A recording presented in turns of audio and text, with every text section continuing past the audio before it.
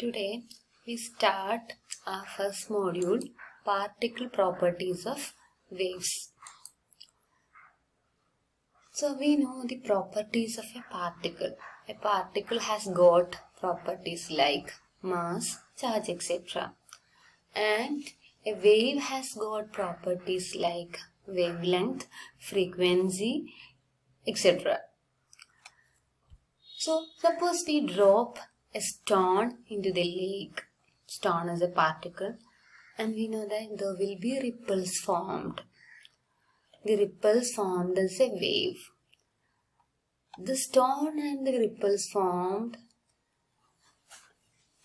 has only some common properties like ability to transfer energy and momentum. Stone has got mass, velocity etc and the ripples will have a wavelength, frequency etc. The common properties are the ability to transfer energy and momentum only.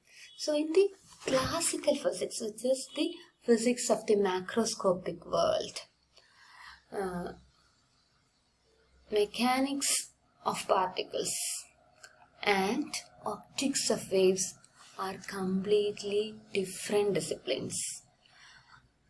The branch of physics dealing with the study of uh, the movement of particles is mechanics and um, the branch of physics dealing with the behavior of the waves is optics. They are entirely different in the classical physics or in the macroscopic world. But when we go to the microscopic world, we can see that, uh, for example, in the realm of atoms, for example, we are taking electrons. Um, so we treat the electrons as particles because they have mass, charge, and they obey uh, the laws of particle mechanics in television picture tubes, etc. But uh, in order to explain the behavior of electrons in electron microscope, we have to treat them as waves. So in the microscopic world, the, uh, the microscopic particles uh, have got both uh, the particle and wave nature.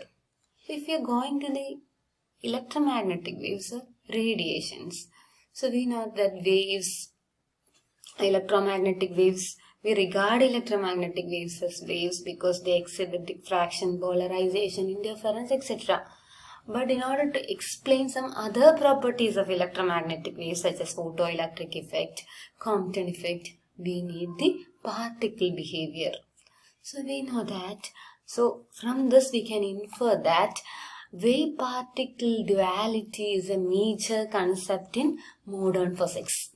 So in this chapter uh, we are studying the particle properties of the waves. So before going to this we will study about the electromagnetic waves. So how they are generated, what are their properties. So we know that a stationary charge will produce an electric field around it. So you have already learned this in the electrostatic course. So suppose the charge is moving but a constant velocity. What will happen?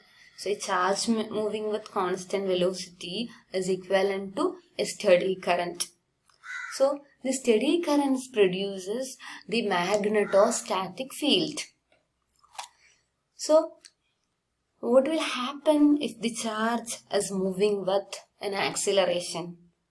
So charge moving with acceleration will produce a varying current. As the velocity changes, uh, the current also changes and there will be a varying current and this varying current will produce uh, varying magnetic field and according to Faraday's law of electromagnetic induction there will be an electric field associated with it.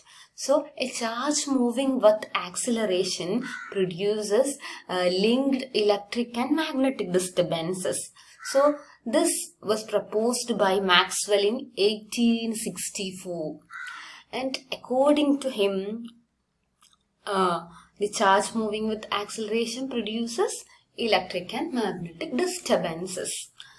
So when uh, the charge is oscillating periodically, then we have uh, electric and magnetic uh, disturbances propagating in a periodic nature. So we will get an electromagnetic wave. So uh, the source of the electromagnetic wave is a charge which is oscillating periodically.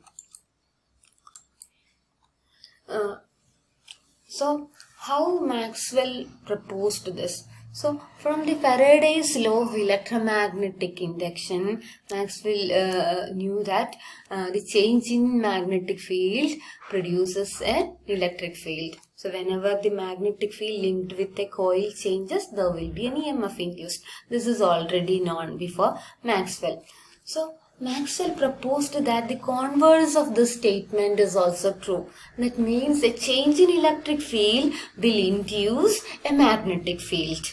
So this was just an hypothesis uh, uh, that was not based on the experimental findings because uh, the electric field uh, induced by a changing magnetic field is easy to detect but the magnetic field produced by a change in electric field is not uh, easy to detect. Uh, this we, it is very difficult to measure small magnetic fields and therefore this is easy to detect at that time and it was a hypothesis at, uh, at that time. So, uh, Maxwell uh, proposed that the converse of the statement is also true. A change in electric field should induce a magnetic field. So he deduced the theory and uh, he found that uh, uh, if his statement, his hypothesis is true, the electric uh, electromagnetic waves should have a velocity v is equal to 1 by root of mu 0 epsilon 0. So this equation, the derivation of this equation um, you, um, will be there in your electrodynamics 2 course. So we are not going to do the derivation. You will study this derivation in electrodynamics 2. So he found that and where mu 0 is the permeability of free space and epsilon 0 is the permittivity of free space and when substituting those values uh, he found that this velocity is equal approximately equal to 3 into 10 raised to 8 meter per seconds which is equal to the velocity of light. So from this Maxwell deduced that light is nothing but an electromagnetic wave. But Maxwell's uh, prediction was not experimentally verified during his lifetime. But later in 1988, a German physicist, Henry Hertz, experimentally verified the existence of electromagnetic waves. So, he generated the electromagnetic waves by applying an alternating current to an air gap between two metal balls. The width of the gap was such that a spark occurred each time when the current reached a peak. A wire loop with a small gap was the detector. The electromagnetic waves set up oscillations in the loop that produced spark in the gap. So, a DC current is applied over here. This is converted to AC. This is applied over here. And the width of the gap is such that it generates a spark. So, uh, and this is detected with the help of a detector or receiver. So the electromagnetic waves are generated over here and detected here. And Hertz determined the wavelength and the speed of these electromagnetic waves.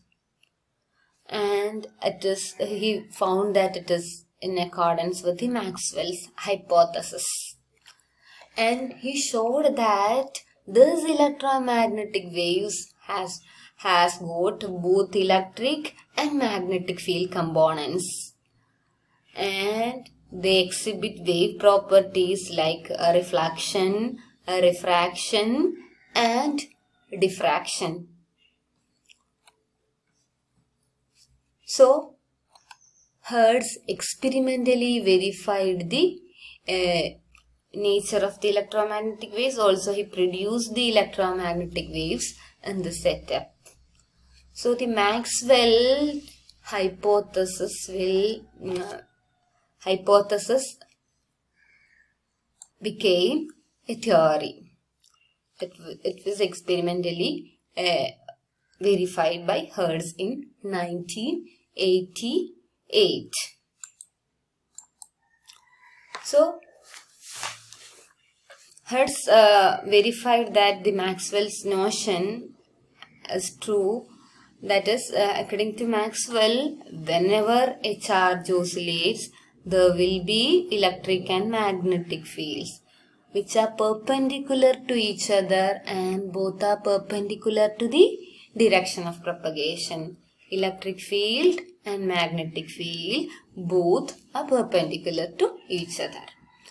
And the wave propagates in a direction perpendicular to both electric and magnetic fields. So this was there in the Maxwell's hypothesis and Hertz experimentally verified this. So light is not the only one electromagnetic wave. There are other electromagnetic waves uh, ranging from uh, radio waves to gamma rays. So this which is called this arrangement is called the electromagnetic spectrum.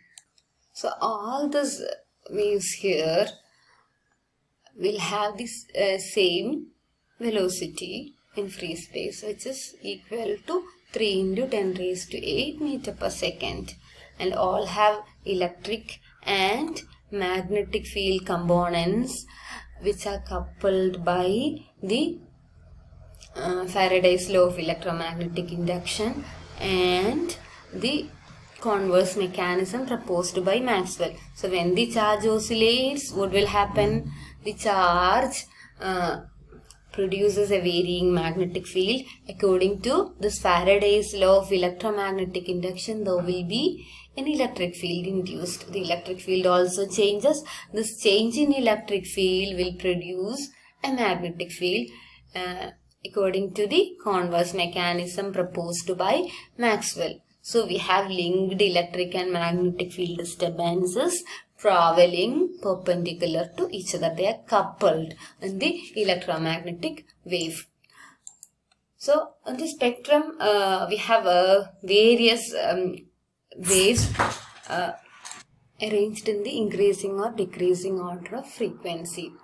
So we have the low frequency uh, radio waves and the high frequency gamma rays or uh, low wavelength uh, low wavelength gamma rays and uh, high wavelength uh, radio waves.